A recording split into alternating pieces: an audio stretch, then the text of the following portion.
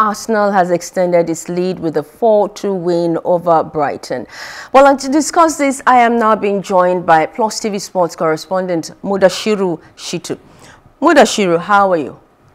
I'm fine. Um, thank you very much, Maureen.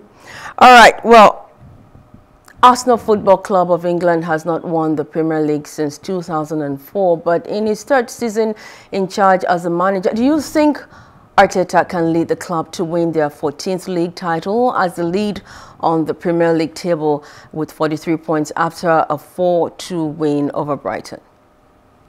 Yes, um, you, you are right, um, Maureen.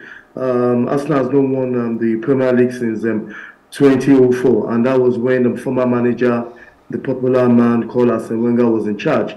But what's going on right now, we can see that um, it seems that um, they'll probably be going in for the next um, Premier League because right now they're seven points um, ahead of their closest um, rival, which is Man City.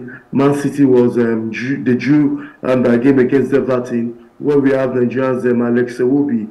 In making it more interesting is the fact that the third on the position, um, Newcastle, also could not um, have a win. So it's a very good one for, for, for Arteta and Arsenal fans generally because it's been a long time for a team who has been going to the Champions League for many years have not won the Champions League. So um, I'm, I'm, going to give you a 50-50 chances that they might win and they might not win. They might win if they continue with um, with um, the winning um, performance right now, and they might not win if um, they take away um, the focus of um, winning. There's still many games to be played for. There's still about um, 17 more games, uh, more than 17 more games to be played for. But I hope that Arteta, just like many Arsenal fans, want him to win. And it's also good to know that Arteta is also a former player of Arsenal. So it's a good one if they win, and I hope they keep up to the momentum.